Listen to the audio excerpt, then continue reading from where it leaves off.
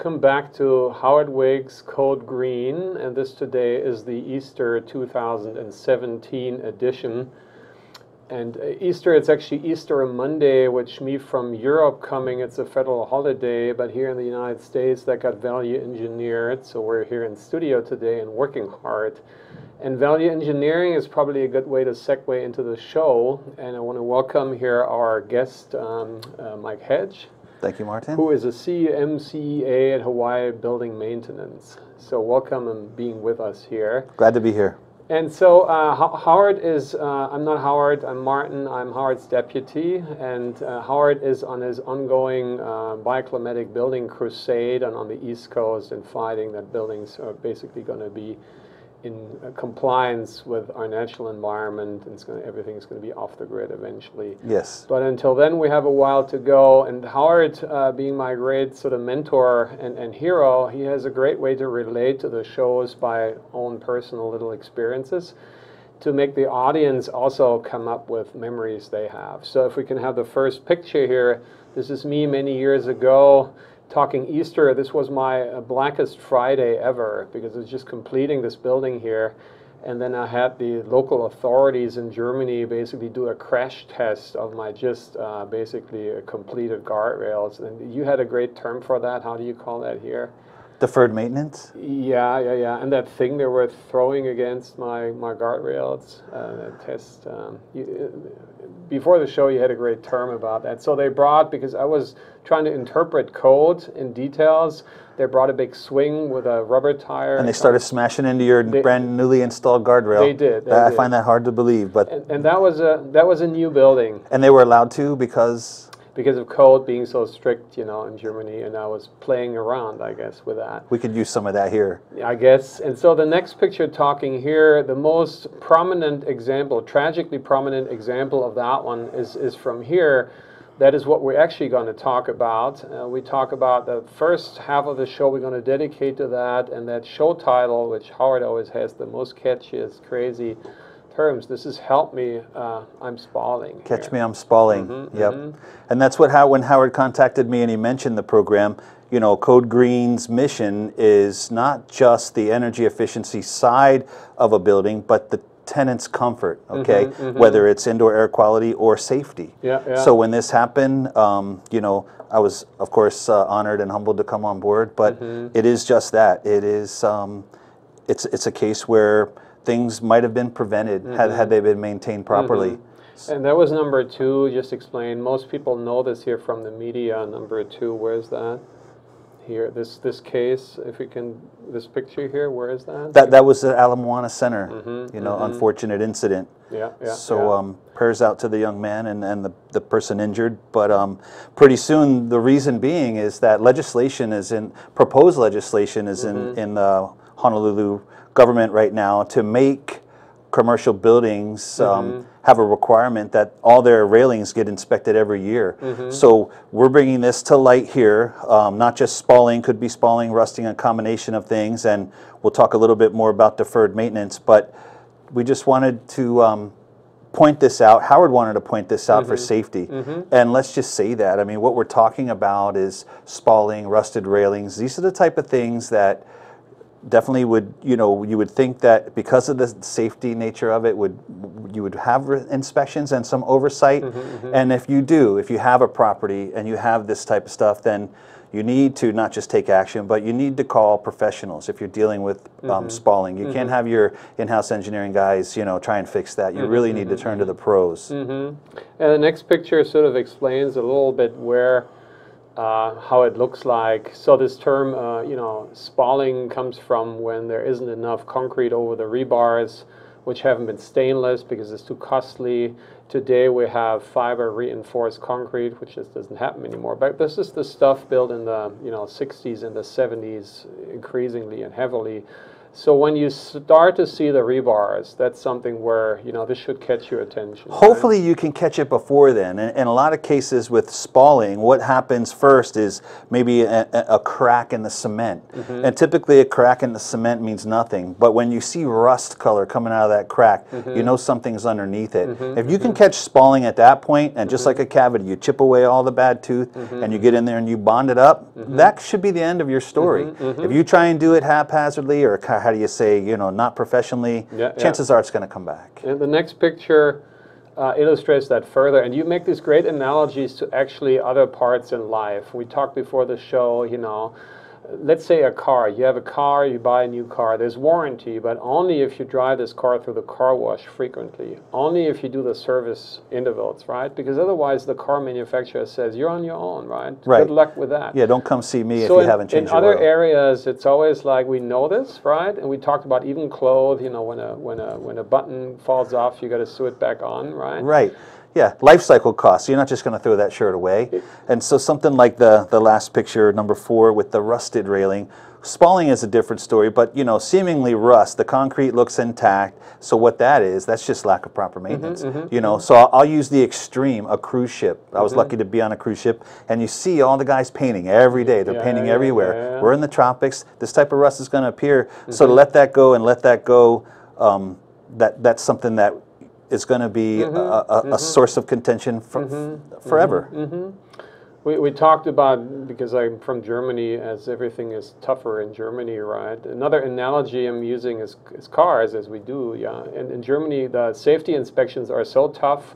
It's actually there are some cars here that have more rust than body left, right? In Germany, is if you have the tiniest little spot, they're going to take a screwdriver and punch through it, and they're going to ask you to get it welded, so there's no rusty cars on the road, right? This is extreme, basically uh, mandating, right? Yes. uh, from a from a society's point of view. We're not we're not here yet, but you said you know there's things on the way because of this tragic happening in Ala Moana that it might be. So we might want to be prepared for that. And same with a car. If you have that little thing that shows, you should take action immediately because it only grows, right? It does. You know that that's a great way um, uh, of getting rid of deferred maintenance, especially in Germany when you guys are allowed to go 100 miles plus. Mm-hmm, You don't want the next car next to you to be some rum, rumbling bucket of rust who Mm-hmm. just has been able to avoid any inspection and fall the wheels fall off running Yeah, next yeah. to you. You know. You, Then the autobahn is no fun but hell, right? So Uh, it- road to hell. so they recognize um, deferred maintenance and That's absolutely true. And let's get the next picture and talk about another material, uh, which is wood, right? And wood is even here in the tropics, some call it termite food, right? Ever since it got brought because it's not native to here. And you also have some great bullet points here to make the audience hyper aware of things, completely right? applicable. I mean, um, in, in commercial buildings, most are is going to be concrete and steel and glass, but there's going to be multifamily, family homes, um, things like that where there is wood, and so. You know, you can't take anything for granted. Really, an inspection, even whether it's mandated by the government or not, this is these are the type of practices that you have to um, enact in your building to take a proactive stance against safety. We'll get into the proactive stance against efficiency shortly, but really the, the, the target focus, the beginning of this is to let you know, you know that it's a problem because we just mm-hmm. saw an unfortunate accident. It doesn't have to get to that. You know legislation's under the way, it may come and make a requirement. Mm-hmm. Don't wait for that even. Mm-hmm. You know, start it now. You're watching this program, you own a building, you're a chief engineer or something, facilities manager, you know what? S- on your next opening, spend an hour, two hours. If it's eight hours, spend it, go look at everything. Be proactive. And another analogy, maybe even closer for some in the audience, and this is um, ourselves as human beings, right? Because nature, by the way, is like whatever nature produces um, is so clever because it doesn't need any of that, right? It comes out of nothing, only needs photosynthesis, a plant, right? And then it's basically biodegrading. But everything we human beings make is not as smart, let's just face it. And it basically degrades. And even we, as being organic, but if we reach a certain age, I'm speaking about myself, your regular checkups are recommended, right? Mm-hmm. And the doctor is going to go through these things, right? And they're going to check if there's some incidents here and there. And if there are, let's just say diabetes indication, you know, you can take some actions. You can change your diet and things, right? That's a great example because uh, we're before we get into the next slide, you, you're almost talking about internal sensors. Mm-hmm, okay, mm-hmm. you you don't want to wait until your tooth starts to ache or you have a pain in your side till you go. You go, you get your regular checkups. You can kind of you know, there's a certain amount of predictability in what's going to mm-hmm, happen to you. Mm-hmm. So same thing with high tech equipment. You're going to have sensors that kind of give you some predictability, but um, but there are others that don't. There's and, no sensors, and, and and that's a great segueing into the next picture actually, where you can make this illustrated even more provocatively, right? Yeah. So preventive maintenance, just like Germany doesn't allow cars to get to that mm-hmm, point mm-hmm, mm-hmm the FAA doesn't allow, um, does, does not take an airline's word that they're doing everything in that maintenance hangar. Mm-hmm. Every maintenance hangar is different, right? Mm-hmm. And, you know, not, not slamming anyone because I don't know, you know, the, the names of bads or, or good, but when you're talking about people's lives at 30,000 feet, what I've recently learned was that, of course, airplanes have the same have sensors that automobiles have, but what they also have, and every airline over, flying over 30,000 feet has to have it, there's 3,500 sensors that communicate between the plant, plane and the ground. Wow. So, and the points, there's never a place where the points, the plane is out of contact with the earth on all these things. Mm-hmm. So the moment something happens to their engine, the first little sign of trouble, a plan is made to get them down in the safest mm-hmm. spot. That's the extreme side wow, wow. of not having deferred maintenance. Yeah, and that's a great example. I mean, first of all, there is sort of societal control, you know, there's laws, there's regulations about that, which we don't have in buildings yet. Mm-hmm. But then there's also at the end the consumer right. So if you read like there's a $25, I read that, flights within reach from Boston to uh, DC or something like that. And there were some cases in, in Europe where these cheap airlines, you know, uh, critical investigators found out that the airlines are only able to provide that by saving on uh, maintenance, which they found some loopholes, right? So is that a good investment to gamble with your life? No, right? I would say I would say that's unsustainable, and it would be extremely unfortunate to learn the hard way in a case like that. Yeah. You're dealing with an air conditioner in a house or an automobile is, is way different when you know taking someone in the air and, yeah, and yeah. Have, having yeah. your lives in your hands. So you can get killed by coming down with an airplane, right, in an uncontrolled way because of deferred maintenance, and you can always get killed like this tragic person at Ala Moana with a failing guardrail. So not much different, right, in that case. And so we're going to have, we're going to say, well, if this isn't still not enough for some people to say, oh, you're just talking about, you know, airplanes and stuff like that. That's sort of like still pretty far away from me. I don't fly. Let's just say, you know, I don't do that. But the next picture is like, maybe you have a kid. So talk about a little bit about that picture, why you brought that in. Uh, one of the reasons I chose that picture is if I had a relative at my house and I had a stair railing and below that railing was eight feet before the floor, and I saw a young child going up to press that, I would have wished I already pressed each one, even if it was a brand new home. Mm-hmm. You know, something like that. It, I mean, railing inspection at its core is mm-hmm, starts mm-hmm. with this and then mm-hmm. goes into the general public. So mm-hmm, mm-hmm. whether I mean this is maybe a departure from the commercial building side that you know Howard and we want to reach, but it touches you know it touches everyone, and this is the type of yeah, and this yeah. is what it comes down to. I mean, really, it's personal safety. Nothing's yeah. more valuable than a life. Yeah, you know, so there's too many too many um, reasons not to keep up on maintenance. So so once again, there is, and at some point you wanted to say, you know, we're we're both not the engineers who uh, whose core business this is to deal with these things. Correct. Right? But I'm a designer. I design these things, and, and you're a maintenance uh, expert in that. So mm-hmm. we're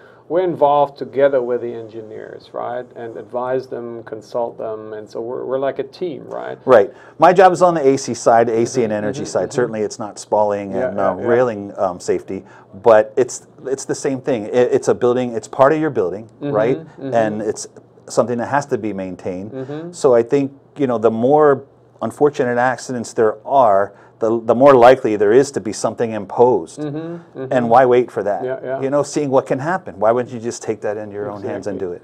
And that being said, we take a little promotional break for our colleagues to promote some of their shows to then actually get into the most juicy stuff, which you just already announced, which is your core expertise and experience. So see you back in a minute with, with Mike and the danger of deferred maintenance. Okay, so I'm Crystal. If you haven't tuned into Quack Talk before, you better do it because you're missing out on all the information. We talk about sex, we talk about religion, we talk about everything and nothing. So we've got two gentlemen here going to validate that, right? Greg Kinkley and Roy Chu. What's your take on the importance of talking about these issues? It's very important. It's through, I think, expressing ideas and exchanging ideas that we come to a better understanding of the world and each other. And without that, we live in ignorance and fear. And Yep. Fear is based on ignorance. Amen. Greg, Amen. I, what more could I say than that? That's something in Yiddish. I think. Share is on a yid. Oi vey! Come, listen to Quack Talk Tuesday mornings. Aloha, I'm Dave Stevens, the host of the Cyber Underground on Think Tech Hawaii. This is my co-host Andrew Lanning, Aloha, the security guy. uh, every week at 5 p.m., we'll be discussing cybersecurity, the things to look out for, and the things to do to keep yourself safe. Check us out on Think Tech Hawaii, 5 o'clock Fridays. Thank you. We're back here on Howard Wiig's show. Me, the Deputy Martin, here today with Mike Hedge, uh, who is with Hawaiian Building Management. And- Maintenance. uh, maintenance, thank all you right. very much. It's And you manage maintenance, yeah. Yes. I was And energy. Almost good.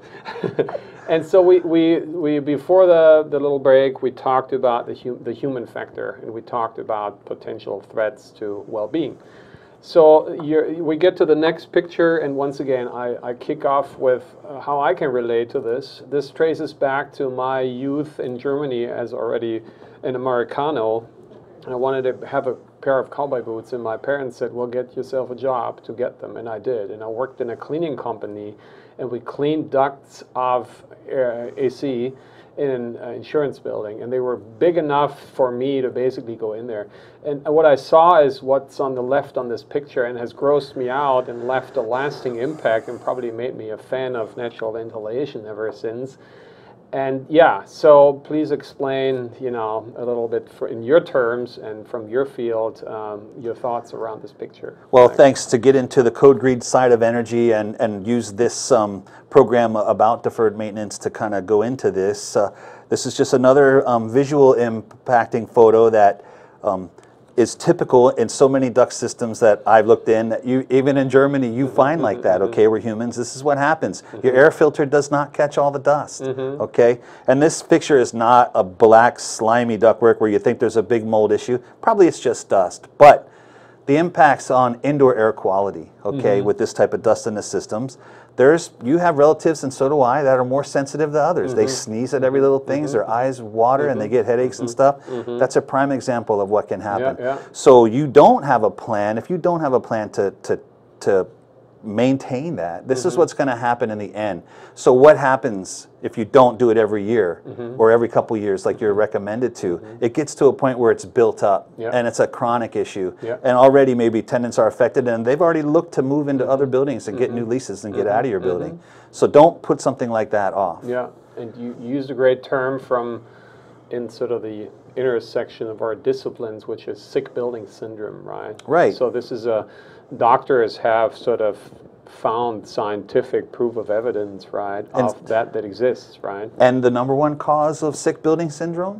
Deferred maintenance. Mm-hmm. Yeah, yeah, You yeah. know, it's not the AC systems that were put in brand new. Yeah. Because when they were brand new, they were working fine. Yeah, and whereas I was way back able to get in because the ducts were so big, in commercial residential they're small, so you can maybe train your raccoon or something like that to be a brush and, Yeah. and walk through. I'd like to see that. But like you ha- don't haven't found these employees yet, right? You're looking for them. No, no, no. There's machinery nowadays, you know, and depending on the type of duct that you have will depend on the machines they can use. Some ductwork has lining Yeah. Mm-hmm. that you have to be real sensitive with. That, that one mm-hmm. is was a mm-hmm. metal ductwork, so mm-hmm. you can kind of go in there with scrubbers and it's yeah. Yeah, and another analogy that we had before is cars. You know, changing your air filter regularly, you know, is affecting your fuel efficiency, how you know smooth your car runs, and and all these things. And so we know this. And, and but it's a good example because also it's like, oh, do I really have to change the air filter again? Didn't I just do that? Maybe not. Yeah. But it's only a couple of bucks. They're going to pay off soon, right? And and that's the reason that I kind of transitioned into deferred maintenance and not just into energy efficiency, Mm-hmm, because really, when you look at a commercial building or something, or, or what's what's worse, Mm-hmm. not engaging in energy efficiency or having deferred maintenance? Yeah, yeah. To me, they're both right there. Yeah, they're right? But the thing is, unlike, um, let's say, a leak on a pipe or unlike a crack in your asphalt Mm-hmm. parking lot, when you let air conditioning systems go beyond the amount of years that they were supposed to be Mm-hmm. in place, you not only have older compressors, older units using more electricity, they're older, they suffer more breakdowns, Mm-hmm, right? More breakdowns means more tenant discomfort. Mm-hmm. Old equipment is poor for appraisal value. You have old equipments on your roof or in your basement, Mm-hmm. they become bargaining chips on the day of the sale. There's absolutely no benefit to, Yeah, yeah. to deferred maintenance. It's Yeah. all bad. Yeah. And of the many grades, because gross pictures you provided me, you know, I think there were over 50s, I had the choice to pick the best off. And the next picture I choose here, uh, some of my students, you know, and colleagues get excited about green walls. These Yeah, walls. this is not the same one. Yeah, this is a sort of an uncontrolled green wall because this, once again, this is mold, right? This is gross stuff. And and what's horrible is this. I mean, I, I can only imagine that this is a place in the middle of nowhere where there's no humans. Mm-hmm. Because for this, for people to walk by this on a daily basis or a weekly or monthly basis, how, how can they let Yeah. this happen, right? So yeah. you're thinking, oh, it's outside, it's just algae growth. Mm-hmm, But just like you said, that that's impeding the flow into the machine, and then with, that's a cooling tower in the background. Mm-hmm. So cooling towers, there's things in the water like Legionella and other bad oh, yeah, stuff yeah. that Uh-huh. if you don't treat it and you don't maintain it, you're going to have problems. This is a red flag. Yeah, If you're a facilities manager or Mm-hmm. a asset manager or a property manager and you're walking your property and you Mm-hmm. see something like that, why is it like that? Yeah, yeah. And don't accept the answer, well, that's how it's always yeah, been. Yeah, you know? And whereas the last two pictures, you know, it's like we're hardly ever in our ducts, we're hardly ever on the roofs. But Right. the next picture shows us what we all see. You know, we have this single unit, unfortunately, you know, things attached to our facades, which is bad enough from an architectural point of view.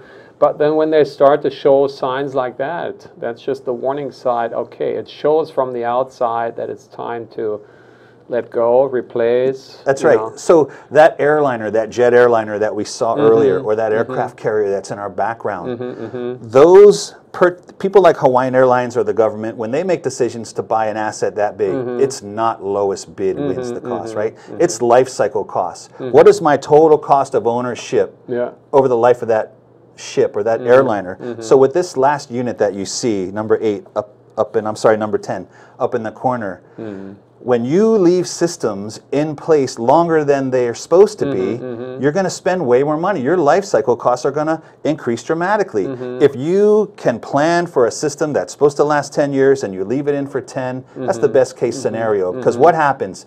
You let it go to 15, well, guess what? In year 11, you lose a condenser fan motor. Year 12, you lose a compressor. Year 13, you lose a control board. And each time the units broke down, the tenant's screaming, and it's just Yeah, all yeah. because you didn't plan.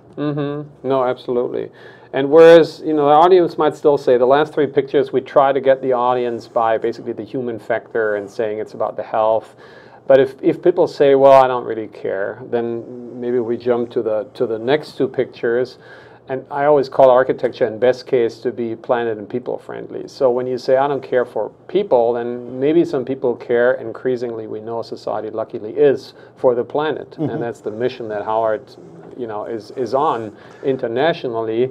So talk about this chart here. A little It bit. is. It, it, it is, and it's about education. It's Mm-hmm. about bringing things to light. Just like you said, you may have a shrewd business owner, and I don't care. My tenants are paying electric Mm-hmm, bills. I'm not going to engage in that. But that same owner has grandchildren Mm-hmm, and great grandchildren. Okay, and is seeing the, where pollution's going, how smoggy things are. Yeah. Are they really going to take just go down that path? Mm-hmm. So this one you have right here, it's basically it shows higher efficiency equipment towards the end and the the pounds of CO2 emitted during its life. So you have the worst energy efficiency rating of around 10 nowadays, still in place, mm-hmm. and you can go to 23 or 28 or in the 30s. And you've over the life of those equipment, you've only added 50,000 instead of 200,000. That's huge. Yeah, When one person takes that step and mm-hmm. everyone takes it, I mean, mm-hmm. it's No, great point.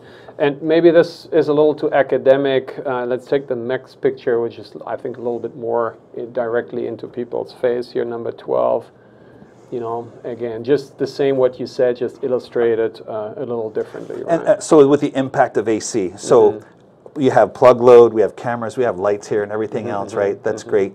But 50% or more in any building is Yeah. related to air conditioning costs. Mm-hmm. So when you have something like air conditioning in place, the amount of money that you're spending in a building, if you have a large building and a large chiller, it's going to kill you in the end. Mm-hmm. So I gave you one example a while ago. It was if you have two buildings built the mm-hmm. same day with mm-hmm. the same architect mm-hmm. on the same on, across the street from each other, Yeah. and over the years, one building engages in energy efficiency and the other one doesn't.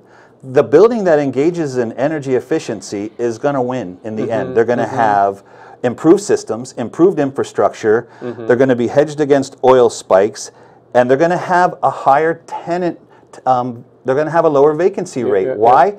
Because electricity that they don't spend because they've engaged Mm-hmm. comes off the bottom comes off the bottom line. Whereas the Energy Hog building, Mm-hmm. the rent is the same for both of those buildings, but the CAM cost, the common area maintenance cost for the energy efficiency Yeah, building, yeah, yeah. are higher, and it puts them out of competition. Mm-hmm, So, so you made two great cases. You said care for the people, care for the planet. yes, But what if none of these arguments really fly? And so we live in a highly capitalized society in Western civilizations, which includes Germany and the United States of America. So you already touched on it. Just also make it a little bit more graphical. Uh, there's a there's a third reason. So if you don't care for your people, you don't care for the planet. You might care for your wallet in Right. the society we Right. live. So we have a sibling chart to the one we had for the climate, which is now here for the cost. and you would think this would resonate with most people, but mm-hmm. sadly it doesn't, mm-hmm. right? The mm-hmm. mantra out there I experience every day is low bid wins, lowest first cost. You know what? When it comes to energy efficiency, lowest first cost never wins. So when you talk about you know, not caring for anything else. If you are a businessman mm-hmm. and you're deferring maintenance and you're putting off changing that air conditioner or that chiller plant, mm-hmm. I would reconsider that right now and spring it into action because not only are you increasing your appraisal value, right, in tenant comfort and everything else, typically, if you're a commercial building, mm-hmm. the, the decrease in utility expenses go right to your bottom line. So a million dollar uh, chiller project, oh, well, how long does it take me to pay that back? Could be mm-hmm. five or seven years. Don't use a simple payback. That's a wrong metric. Mm-hmm. The, the initial investment, even if it only saves you 150 grand a year, mm-hmm. that investment is, is already worth more than what you paid for it. In other words, the appraisal, income appraisal value method of a building is the net operating income divided by the local capitalization rate. Mm-hmm. So if you have 150 grand in savings in a building, and right now here in Hawaii, the local cap rate I think is around 7%, that's mm-hmm. $2 million mm-hmm. increase in your asset. Great. There's too many reasons not to do it. No, thank you so much. We're getting to the end of the show, and number 14, which is our permanent background, is the other example from that, but we don't have, you already explained it. So we're phasing out with the last picture, number 15, which is me thanking you, uh, Mike, for having inspired me and encouraged me uh, to continue to do with the emerging um, generation and colleagues of architecture. This is a building we're currently designing, which tries to be uh, net zero, off the grid, which has an innovative solution to the guardrails. And so we're going to do a show. You inspired me to do a show on my own show, Human Humane Architecture, about that. That's great. Thank you for, for this sort of backup from a profession that we usually don't don't talk to, and, and let's work together. Thanks for having been on the show. Much Thank you. appreciated. I'm glad to be up here because it really is about raising awareness. Okay, it's about education. Mm-hmm. Thank you right? very much. So many things have been going on, and let's bring everyone up to Thank the same level. So thank you again. Thanks, and Martin. see you guys all back uh, uh, for Howard. He's going to be back in, in two weeks from his bioclimatic crusade. So in two weeks on Monday, uh, Code Green again. See you then.